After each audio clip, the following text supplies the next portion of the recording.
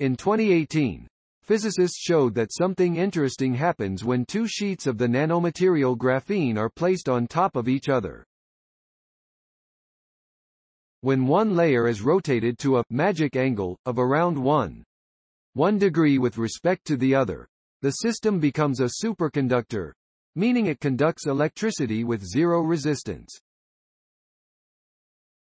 Even more exciting, there was evidence that it was an unconventional form of superconductivity, a type that can happen at temperatures well above absolute zero, where most superconducting materials function. Since the initial discovery, researchers have been working to understand this exotic state of matter. Now, a research team led by Brown University physicists has found a new way to precisely probe the nature of the superconducting state in magic angle graphene. The technique enables researchers to manipulate the repulsive force between electrons, the Coulomb interaction, in the system. In a study published in the journal Science, the researchers show that magic angle superconductivity grows more robust when Coulomb interaction is reduced, an important piece of information in understanding how this superconductor works. This is the first time anyone has demonstrated that you can directly manipulate the strength of Coulomb interaction in a strongly correlated electronic system, said Jia Li, an assistant professor of physics at Brown and corresponding author of the research. Superconductivity is driven by the interactions between electrons, so when we can manipulate that interaction, it tells us something really important about that system. In this case, demonstrating that weaker Coulomb interaction strengthens superconductivity provides an important new theoretical constraint on this system. The original 2018 finding of potentially unconventional superconductivity in magic angle graphene generated significant interest in the fizzy. Graphene, one-atom, thick sheets of carbon, is a relatively simple material. If it did indeed support unconventional superconductivity, graphene simplicity would make it an ideal place to explore how the phenomenon works, Li says. Unconventional superconductors are exciting because of their high transition temperature and potential applications in quantum computers, lossless power grids and elsewhere, Li said. But we still don't have a microscopic theory for how they work.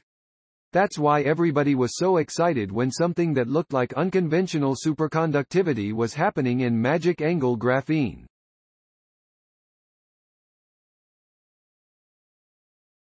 Its simple chemical composition and tunability in twist angle promise a clearer picture.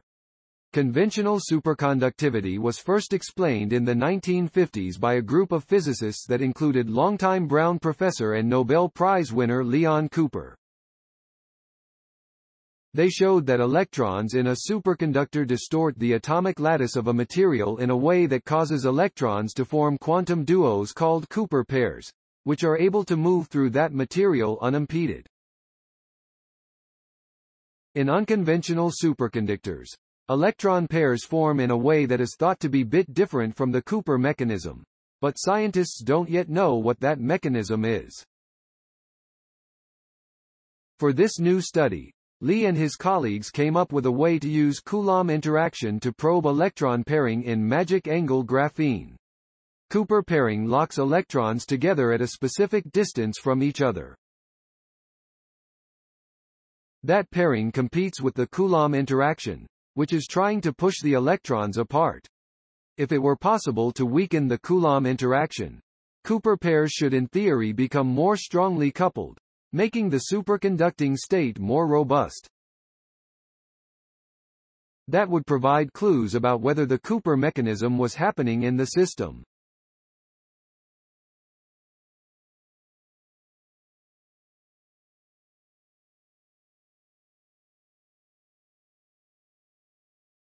To manipulate the Coulomb interaction for this study, the researchers built a device that brings a sheet of magic angle graphene in very close proximity to another type of graphene sheet called a Bernal bilayer. Because the two layers are so thin and so close together, electrons in the magic angle sample become ever so slightly attracted to positively charged regions in the Bernal layer.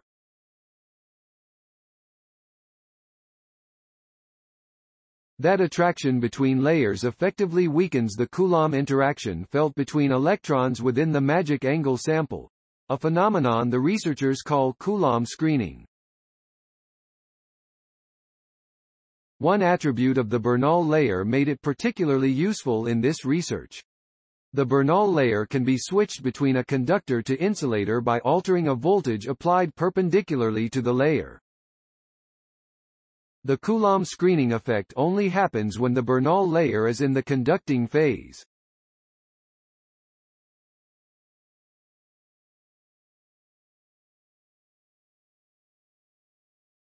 So by switching between conducting and insulating and observing corresponding changes in superconductivity, the researchers could ensure what they were seeing was due to Coulomb screening. The work showed that the superconducting phase became stronger when Coulomb interaction was weakened. The temperature at which the phase broke down became higher, and was more robust to magnetic fields, which disrupt superconductors.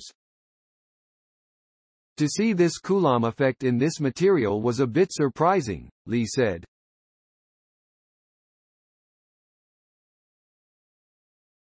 We'd expect to see this happen in a conventional superconductor. Yet there's lots of evidence suggesting that magic angle graphene is an unconventional superconductor.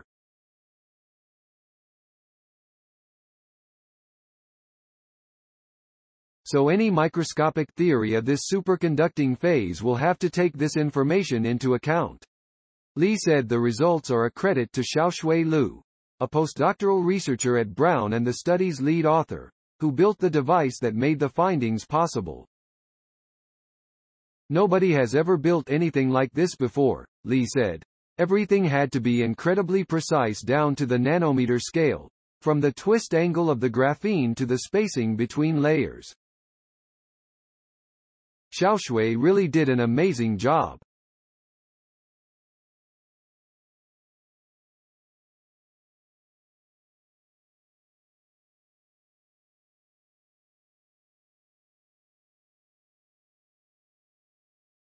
Please support my channel to grow by pressing subscribe button and the bell icon. We will notify you technological news.